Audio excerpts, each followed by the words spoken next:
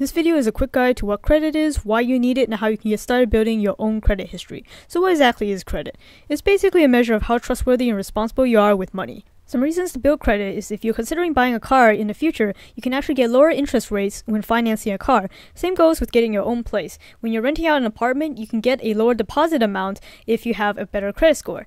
There are many ways to build credit, but among all these, credit cards is one of the most easiest and accessible ways for beginners. So let's just go ahead and figure out what are some factors that make up a credit score and how you can quickly increase your score. So here listed on the screen are all the factors that affect a credit score. But let's just focus on the first four since that's really what you have control over as a beginner. So payment history and derogatory remarks go hand in hand. You want to make sure that you always pay off your debts in full. So what I like to do is set up auto payments on all of my credit cards so I never miss a payment.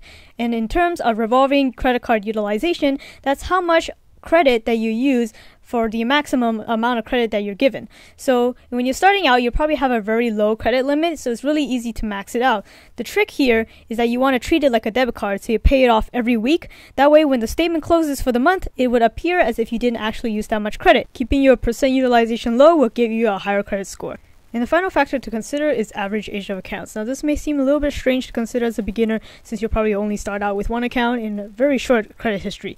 But the way to easily increase this is actually to become what is called an authorized user. So you will ask somebody who has a nice long credit history, say your parents, to be added onto their credit card so their history will actually start showing up on your own credit profile. When I was added onto several credit cards of my parents, I saw my credit score jump by more than 50 points. So now that you know the basics of credit, you have to start out with a credit card of your own. For me, it was the Discover It for students. This was really great because I actually was able to earn a lot of cash back for on all of my purchases. So that means I'm actually earning money for owning a credit card. The other cards on the screen are also okay, but the one I would absolutely tell you to avoid is anything by Credit One. They make you basically to pay to own a credit card, which you definitely don't have to do even as a beginner. Thanks for watching this video, and for more life tips, including a full video on the Discover It card for students, check out my YouTube channel, skyforce95.